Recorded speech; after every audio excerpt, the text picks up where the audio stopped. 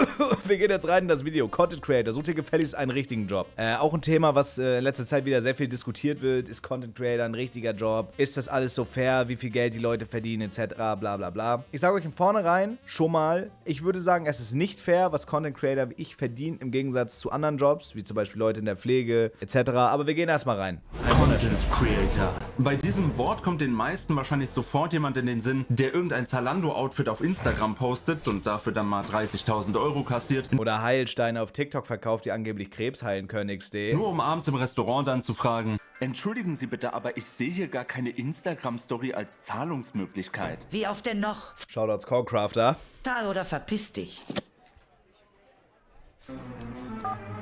Leute, ihr wisst gar nicht, was hier gerade Schreckliches passiert ist. Eine kürzlich durch... Das Ding ist, das ist halt super überdramatisiert dargestellt, aber manche Content Creator sind so kopfgefickt, dass die halt wirklich denken, wenn die in irgendein Restaurant gehen oder so, dass die da mit, mit Story zahlen können. Digga, das finde ich geil. Stell euch vor, ihr habt so einen Foodtruck oder so oder ihr habt irgend so ein Restaurant und dann kommt da irgend so ein Bastard an und sagt, hm, ja, ich habe hier gerade die Rechnung gesehen, über 103 Euro und äh, 59 Cent. Dann kommt der Kellner und sagt, ja, genau, alles gut, so, ich hoffe, es hat Ihnen geschmeckt, Bar oder Karte. Und dann sagt er auf Ernst, yo, ich kann, darf ich mit einer Instagram-Story zahlen? Ich will mir die Hose scheißen. Es gibt nichts Unangenehmeres. Oder wenn Leute so Rabatt wollen und dafür Instagram-Stories posten. So, Digga, seid ihr cringe? Bezahl dein verficktes Essen. Ja, aber das mit Concraft, das ist auch acht Jahre her. Also das war wirklich cringe damals. Aber ähm, ich glaube, ist auch nicht wieder vorgekommen. Ich glaube, Concraft ist ein guter Atze. Geführte US-Umfrage ergab, dass 54% der 13- bis 38-jährigen Social-Media-Influencer werden wollen. You das ist acht Jahre her, keine Ahnung, oder sechs. Nee, ich glaube actually vier oder fünf Jahre. YouTube, Instagram, Twitch oder TikTok werden mittlerweile als Geschäftszweig gesehen und ein nicht unbeachtlicher Anteil unserer Gesellschaft hat einen regelrechten Hass auf Content-Kreatoren, die fürs vor der Kamera sitzen und nichts tun, dein durchschnittliches Jahresgehalt im Monat verdienen. Während sie gleichzeitig auch noch von Schattenseiten, Leistungsdruck und Burnouts erzählen. Dann sucht euch doch einfach einen richtigen Job.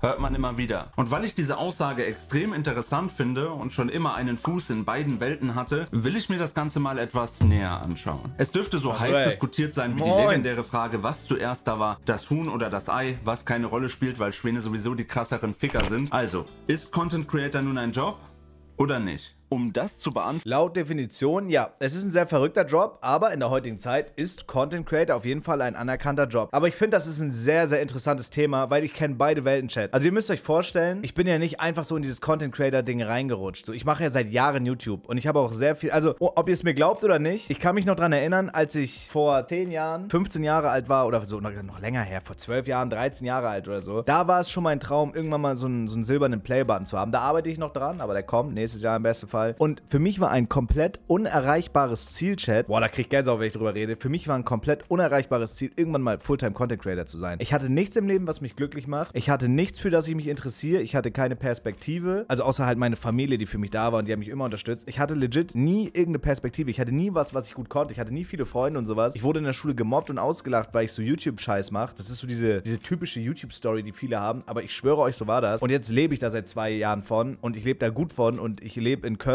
und ich verdiene heutzutage und ist das schon wirklich krass. Ich verdiene genug Geld, um Geld auf mein Konto zu legen und zu sparen. So, das ist einfach ein unglaubliches Privileg, für das ich sehr, sehr dankbar bin. Und das hätte ich halt damals, das hätte ich halt damals nie gedacht, Bro. Das ist, also für mich, ich habe es immer noch nicht realisiert. Und ich glaube, ich werde es auch niemals richtig realisieren, dass es wirklich so ist, weil das ist so wirklich nur ein ganz kleiner Anteil von Menschen kann das über sich sagen, dass sie halt Fulltime Content Creator sind, ne? Das ist, äh, keine Ahnung, das finde ich schon krass.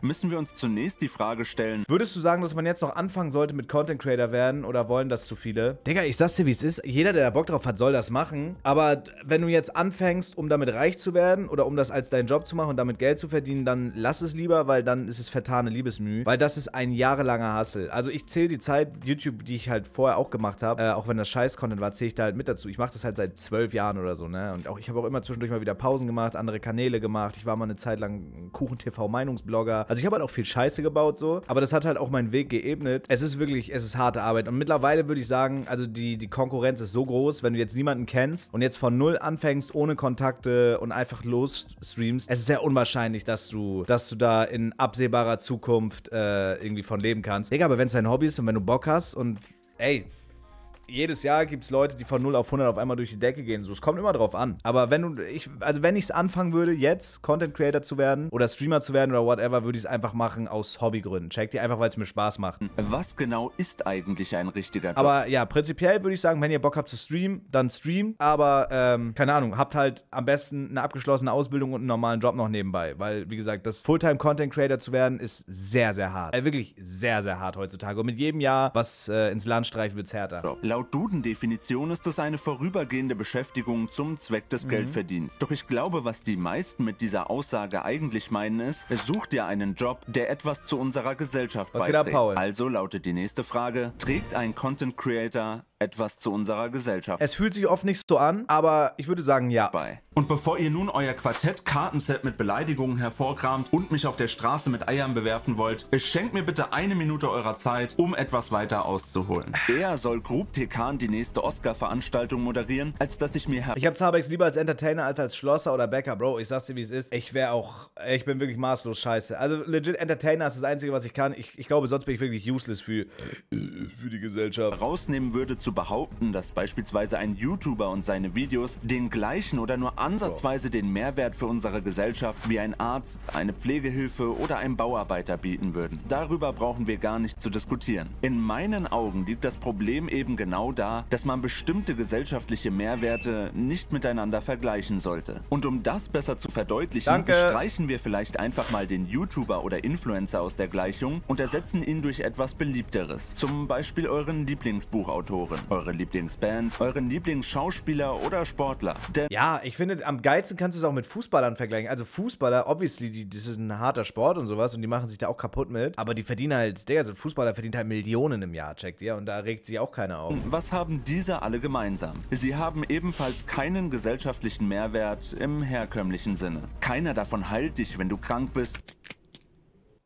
Jo, das war fucking abgefuckt. Zweimal täglich Ibuprofen. Keiner davon kümmert sich um dich, Oh nein, der arme Commander wenn du Krieger. alt bist. Keiner davon baut dir ein Dach über dem Kopf und keiner davon backt dir das Brot, von dem du dich ernährst. Doch teilen sie alle noch eine weitere Gemeinsamkeit. Sie alle gehören der Unterhaltungsindustrie an. Eine Industrie so alt wie die Menschheit selbst, fest verankert in all unseren Kulturen. Vom Hofnarren, der das Volk in der Burg belustigte, dem fahrenden Zirkus, der von Stadt zu Stadt fuhr, oder dem Theater, in dem die erfolgreichsten Stücke aufgeführt wurden. Sie alle dienten einem Zweck, der Unterhaltung der Bevölkerung, dem Eskapismus, also der Flucht aus der vielleicht von Krieg geprägten Zeit, politischen Problemen oder dem tristen Alltag. Und bis heute hat sich daran nichts geändert. Ein gutes Buch wird deinen Beinbruch nicht heilen, doch es wird auf der Couch einige Tage für Ablenkung sorgen. Safe. Und auch dein Lieblingssong wird deinen Liebeskummer nicht vertreiben, doch kann dabei helfen, deine Stimmung wenigstens etwas zu bessern. Safe. Würde man also seinem Lieblingsromanautor einen Brief schreiben,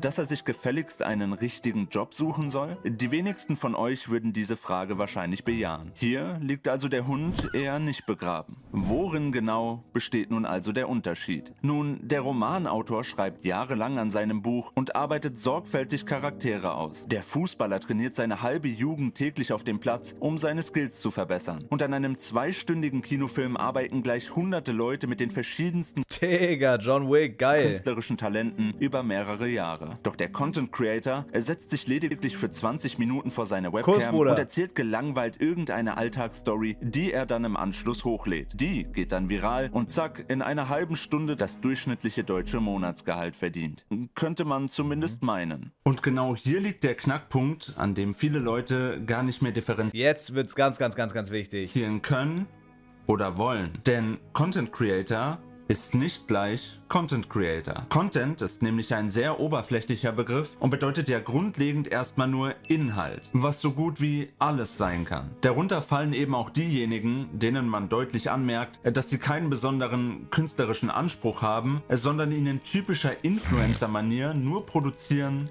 um Geld zu verdienen. Doch was viele dadurch vergessen, diese Philosophie gilt eben nicht für alle. Denn viele Kreatoren produzieren Content in Ja, ich finde, du kannst aber auch nicht alles über einen Kamm scheren. Also selbst wenn man Content produziert, um Geld zu verdienen, obviously, dann ist es, dann ist da nichts falsch dran. Also ich sage euch ehrlich, Chat, und das ist nämlich genau dieser Knackpunkt, den ich vorher auch nicht gecheckt habe, bevor ich selber Fulltime Content Creator geworden bin. Du kannst nicht immer nur das machen, wo du Bock drauf hast. Digga, wenn ich mich jetzt wirklich einfach nur, weil das ist ja immer ein Argument, was viele Leute sagen, wenn ich mich jetzt einfach nur acht Stunden am Tag hier hinsetze und League of Legends zock, einfach weil ich Bock drauf habe, Digga, dann bin ich in zwei Monaten pleite Seite, weil, weil ich kein League of Legends Streamer bin, weil sich keiner dafür juckt. Checkt ihr, wie ich meine? So, man muss schon ein bisschen, also gerade wenn du davon lebst, musst du halt schon ein bisschen mit dem Zahn der Zeit gehen und gucken, was funktioniert. Und im Moment funktioniert halt einfach Just Chatting. Im Moment funktionieren Sachen wie Frank Rosin. Im Moment funktionieren Sachen wie TikToks. Im Moment funktioniert, äh, einfach so Just Chatting-Shit funktioniert. Und es gibt auch Tage, wo ich dann wirklich einfach mal keinen Bock drauf habe. Und manchmal muss man es dann aber trotzdem machen. So, wisst ihr, wie ich meine? Das ist halt, ja, keine Ahnung. Ey, ich hätte jetzt auch einfach Bock, einfach mal fünf Stunden League of Legends on Stream zu spielen. Und vielleicht mache ich das auch irgendwann mal. Aber darunter würden halt meine Zahlen leiden und vielleicht äh,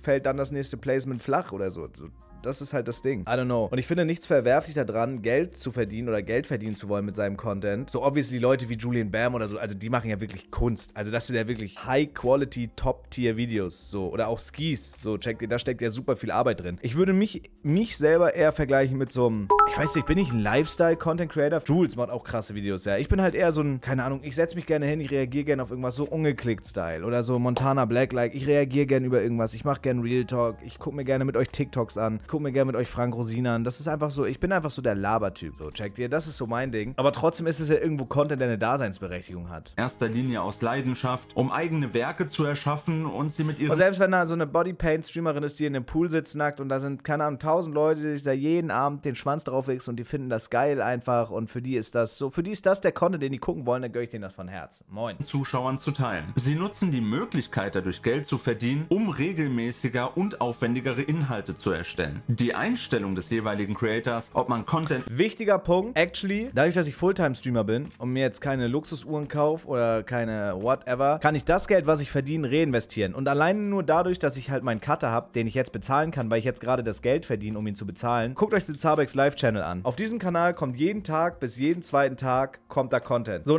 klar, das ist nur Content aus den Livestreams, aber das ist trotzdem geiler Content. Hier die Hugo-Reactions, hier die TikTok-Videos, das ist einfach Content, der gut ankommt, der funktioniert, so checkt ihr. Und alleine nur dadurch, weil ich mein Geld reinvestieren kann und weil ich äh, jetzt, dadurch, dass ich Fulltime-Streamer bin, so viel Content überhaupt produzieren kann, kommt halt noch mehr Content. So, das ist halt einfach die Reinvestition, checkt ihr? nun als Gelddruckmaschine oder Kunst sieht, macht einen entscheidenden Unterschied. Gerade YouTube hat sich in den letzten Jahren als neues Unterhaltungsmedium gegen das Fernsehen durchgesetzt. Viele alte legendäre Formate wie beispielsweise Jackass würde man heute wohl Und das machen vielleicht auch gute Reactions dann aus. Das ist halt, Bro, das ist ein wildes Thema, eher Mann. hier als im TV wiederfinden. Und dadurch hat sich für alle unabhängigen Kreatoren die Möglichkeit geboten, Safe, ihre Sabrix. Videos und Formate einer breiten Masse zu präsentieren, ohne eine Fernsehproduktion im Nacken zu haben oder um einen Sendeplatz kämpfen zu müssen.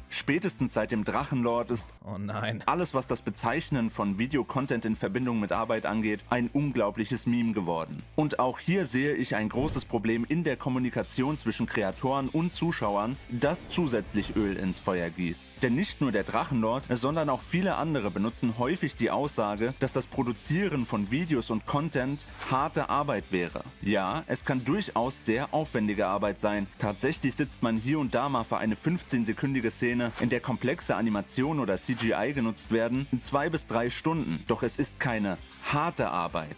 Es ist aufwendige Arbeit.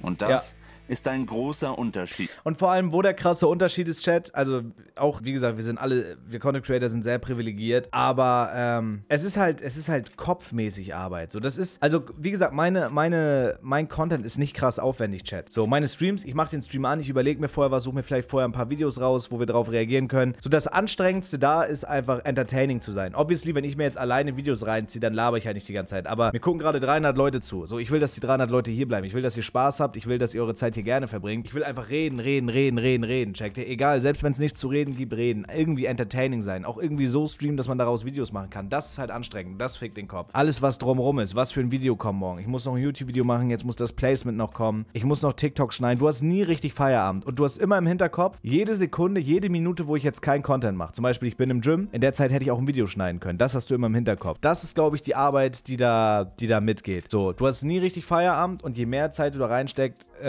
reinsteckst, desto mehr Outcome hast du im besten Fall. Es ist aber nicht garantiert. Es kann auch sein, dass ich einfach wirklich jetzt jeden Tag acht Stunden Videos schneide und, und trotzdem gehe ich nicht big auf YouTube. I don't know. Das ist so. Es ist ein schwieriges Thema, Bro. Es ist halt Kopfgeficke. Und ich merke halt selber, wenn ich den Stream ausmache, zum Beispiel Chat, dieser Stream vorgestern, das war so krass. Ich habe 400 Subs gemacht oder so. Wisst ihr wie? Also, das ist wirklich sehr viel. Das ist wirklich gutes Geld. Und trotzdem ist man danach halt, man ist halt danach einfach ausgelaugt. Wenn so ein Stream ausgeht nach 4, 5, 6 Stunden, das hört sich dumm an und ich check auch, dass Leute jetzt vielleicht lachen, die kein Content Creator sind, aber man ist danach einfach mental ausgelaugt. I don't know, es ist halt keine harte körperliche Arbeit, es ist einfach Kopfgeficke. Also ich finde, es ist mehr Kopfgeficke, als man damals in der Ausbildung hatte zum Beispiel. Und halt, du hast dieses kein Feierabend. Trotzdem ist es nicht vergleichbar mit einem Job, wo jemand in der Pflege arbeitet oder sich um alte Menschen kümmert oder der, jemand ein Arzt ist oder meinetwegen Häuser baut auf dem Bau. Also das ist halt ein ganz anderer Schnack. Aber äh, was ich euch garantieren kann, Stream und YouTube und Videos machen, ist auf jeden Fall mehr als ich sitze fünf Stunden am Tag am PC und spiele einfach, weil so funktioniert das nicht. Jeder Content Creator, den ihr feiert, liegt nachts wach und macht sich Gedanken. Was kann ich im Stream machen? Was kann ich für YouTube-Videos machen? Sobald die Views ein bisschen droppen, Leute, man wird geistig behindert dadurch. Real Talk. Und das meine ich nicht abwerten, sondern wirklich, es, diese Zahlen machen dich, machen dich behindert im Kopf. Das ist krank.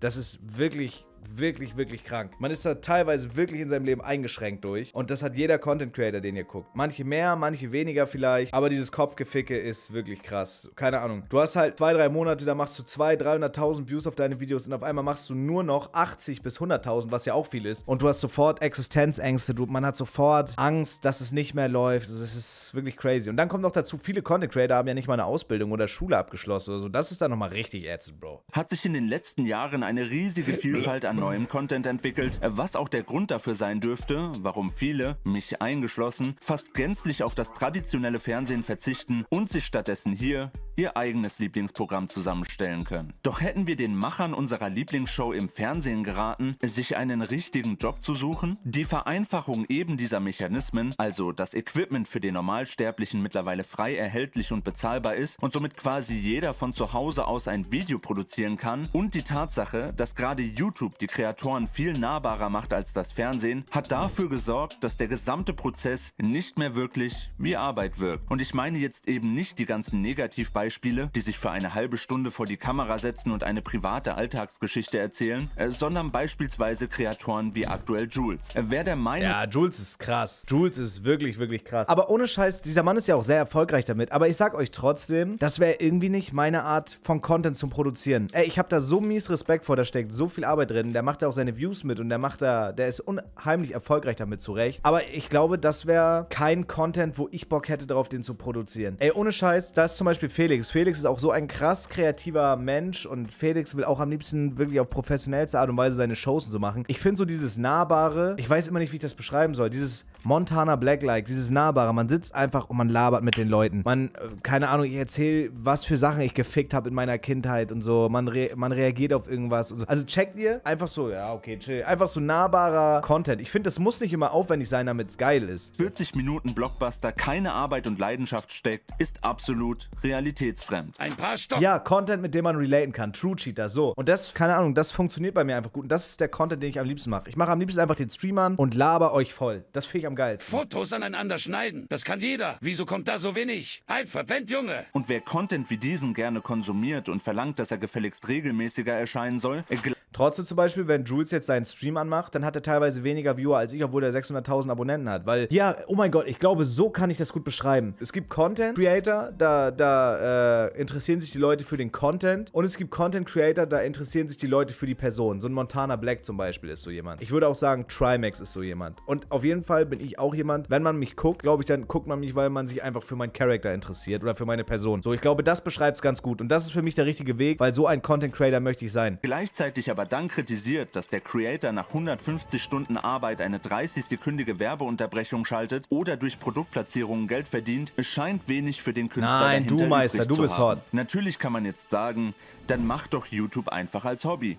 Also brotlose Kunst. Was im Endeffekt jedoch sicherlich dafür sorgen würde, dass alle Kreatoren, die über Digga, du auch crazy Views, ne? Das ist so heftig. Aber das ist halt, das ist halt auch Hollywood-like, ne? Und das sind zum Beispiel Ansprüche, die würde ich mir selber gar nicht stellen, weil das ist halt wirklich, da steckt halt eine komplette Crew hinter und so, ne? Das ist halt crazy. Tage oder sogar Wochen aufwendigen Content erstellen, mit Kuss, der Zeit verschwinden würden. Nicht, weil Kick, sie geldgeile? Aasgeier sind, äh, sondern weil durch den enormen Zeitaufwand solcher Projekte, wenn sie denn regelmäßig und nicht nur einmal im Jahr erscheinen sollen, auch eine gewisse Rentabilität garantiert werden muss. Genauso wie in einem Angestelltenverhältnis oder der Selbstständigkeit. Denn Rechnungen, Privatleben und Verantwortung verschwinden eben nicht einfach so. Und was ansonsten bleibt, wären die Content-Kreatoren, die weitaus weniger Arbeit und Leidenschaft in ihre Werke stecken oder das Ganze ausschließlich als Einnahmequelle sehen. Also ist Content Creator nun ein Job? Ich sehe das so. Wir Content Creator sind moderne Hofnarren. Im Positiven. Ja, safe.